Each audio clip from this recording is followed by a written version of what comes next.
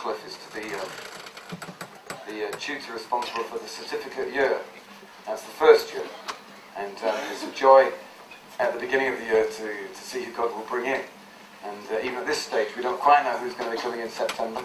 And uh, we, we know that people always come just with a few weeks to spare sometimes.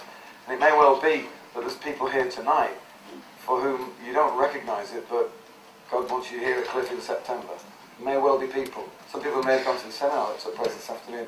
And there may be people here tonight, I'm feeling that, that God will call to come in September this year, perhaps, to join us. And if that's you, then I'd love you to go and chat to one of the people on the stand in the exhibition tent before you go home.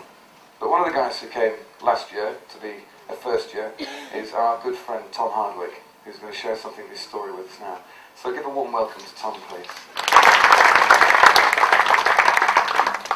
Bless you, Tom. Welcome. Hello. Um, hi, I'm Tom Hardwick. Thank you for listening.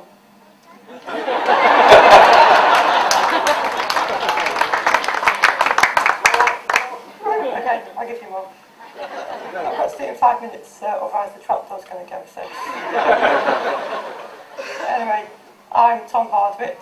Um, just to tell you, I'm a student at Cliff College. I've just completed my undergraduate year, first year certificate. Um, yeah, it's been pretty good, well, very good. And I've loved it. There's been ups and downs, um, as there is. More ups, I have to say.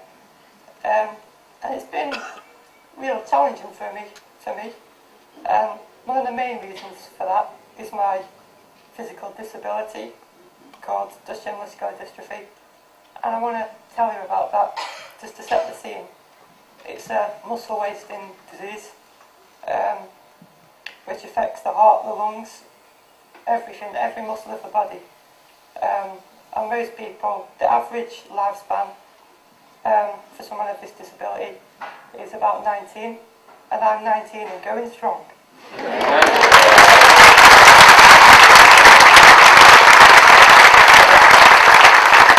Um, yeah, before Jesus came in my life, my um, sort of attitude to my disability and life was different. I thought I thought it was running smoothly, um, as you do. Um, I just sort of played on the PlayStation, watched television, went to school, had the odd outing. That's about my life really. And it was, I thought it was running smoothly until my friend with the same disability died at the age of 13. And that was because his disability weakened him so much that he couldn't overcome a chest infection. When I heard that news, it was gutting for me. And, you know, I eventually got over it. You know, he's still my friend, but I got over the sadness. Oh, and I just started to think, if my friend dies like this, what about me? How long have I got to live? So basically, all I did was live my life to enjoy it and just try not focus on the death that I may be facing, imminent, the imminent death I thought I was facing. And yeah, at the time was sort of kind person, so thought. um, yeah, I was quite sensitive, so thought. And I was shy and lacking in confidence. And that was my life really, until 2004, when Jesus saved me. Hallelujah. He changed my, he changed my trivial seeming life um, to something quite special. And that was, it was amazing how he came in. Um, it happened when my dad was about to go on an alpha course and my mum, or they were on an alpha course, and I just asked him, so where do you go on a Tuesday night? And we go to this alpha course to learn about the Christian faith. What? What are you playing at? Just, don't go there. Because um, I thought church was going to be boring, rubbish, irrelevant, untrue. That's what I thought. Yeah, a bit of a pun there. Um, no, but so I had to get dragged along. Oh yeah, my dad said that don't worry, we won't become Christians. It's not going to happen. yeah. Two weeks later, my dad's like, yeah. You know, I said we weren't Christians. Um, yeah, we are. what are you doing? And I was like sulking for ages. But when I went to church and I saw people happy clapping, jumping about, I was like, oh, it's not what I thought. And, you know, when Jesus came, the way Jesus came into my life is what something my dad said to me.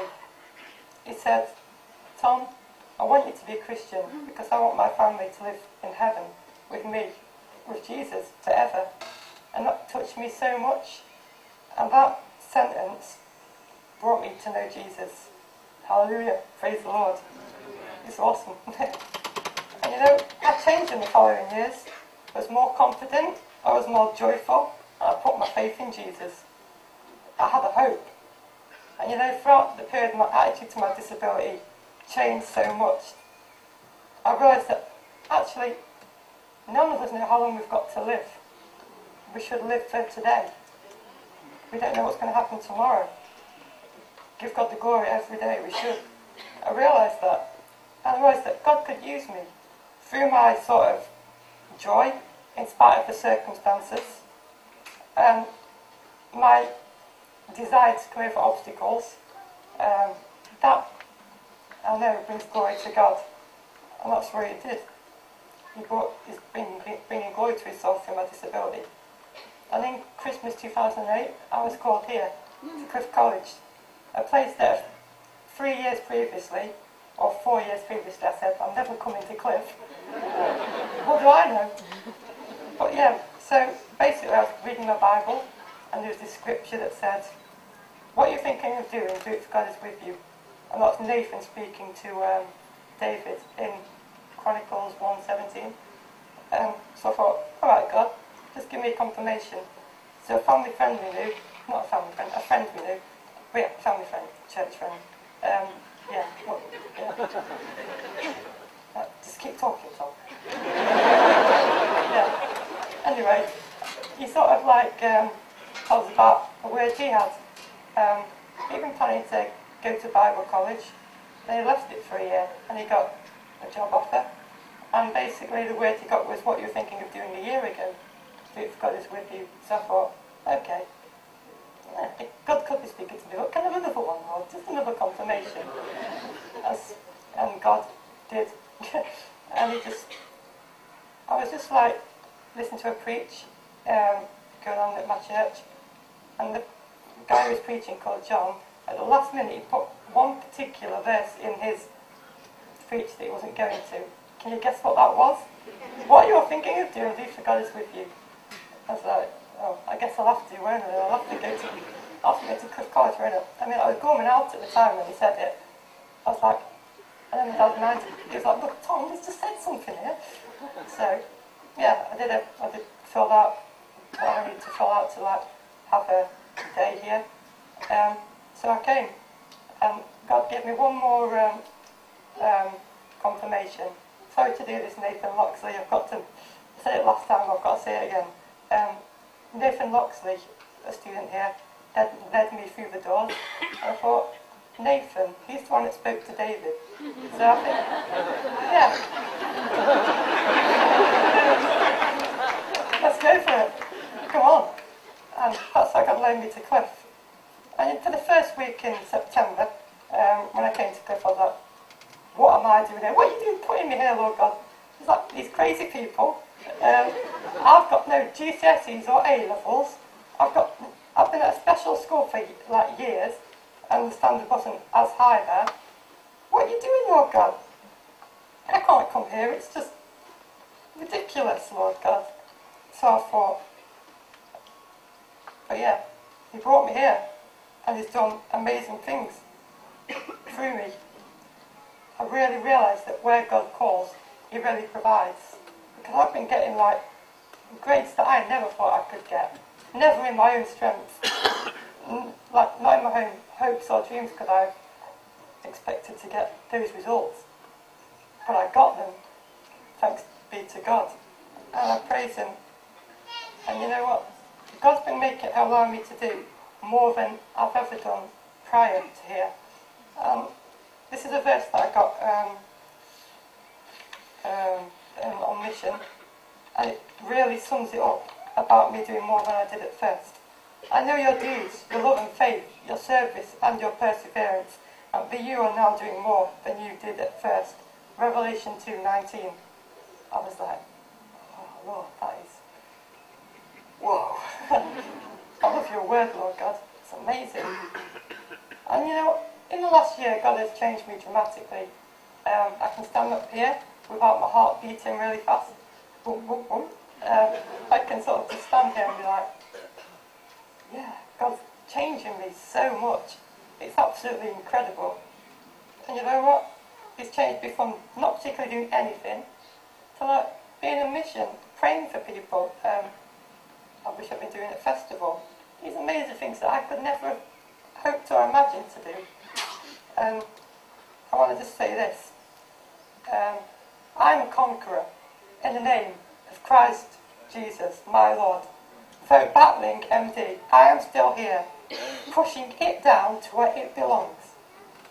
MD belongs down there, not up here, not in my life. And I'm lifting up, I'm lifting up the name of Lord Jesus Christ, bringing glory to His name. I am a conqueror in Christ Jesus, and so are you, which is why I want to finish with this fitting verse from Romans. No, in all things we are more than conquerors through Him who loved us.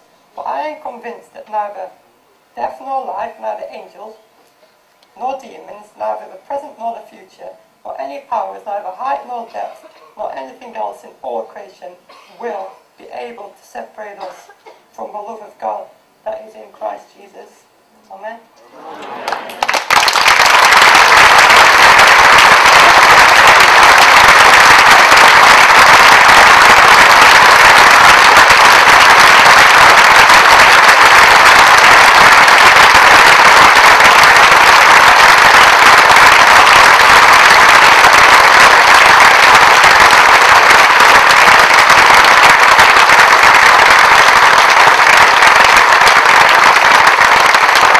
And we give glory to God with you and for you. And we're going to pray for you now. Father God, thank you for Tom. Thank you for his words that through his disability you're glorifying yourself. Thank you for that, that word that there is nothing that can separate us from the love of And we thank you for this man of God who stands here before us, strong and tall in his faith.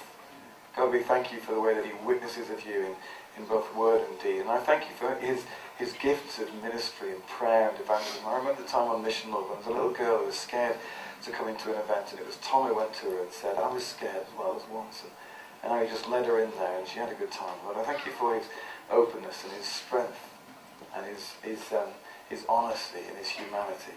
But most of all, I thank you for the fact that he knows you have saved him and you will never let him go. In Jesus' name. Amen.